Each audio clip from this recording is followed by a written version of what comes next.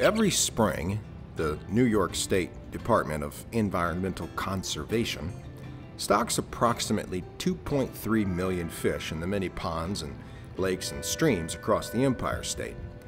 Roughly estimated, it's about 900,000 pounds of fish flesh.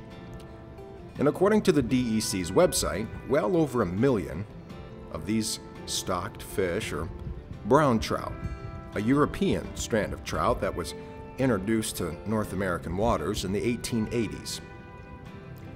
Unlike New York's native species, the brook or speckled trout, the brown trout can tolerate a wider range of water temperatures and they can more readily adapt to creeks like this one. Now, depending on who you happen to meet out on the waterways, there's a long list of opinions regarding the practice of stocking trout. For example, the purist might say that it cheapens the pursuit of native species, that these tank raised trout are inferior to their wild cousins.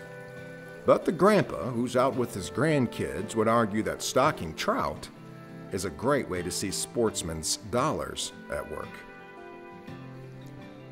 As for the DEC itself, they're pretty clear about their intentions. In creeks like this one, where the water is too warm for native brookies, these brown trout are stocked for the sole purpose of enhancing recreational fishing opportunities. It's pretty simple. These fish are placed here for your enjoyment and mine.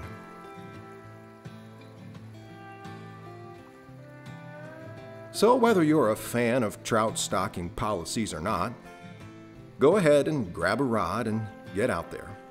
If nothing else, make it your business to simply go out and responsibly enjoy our precious natural resources.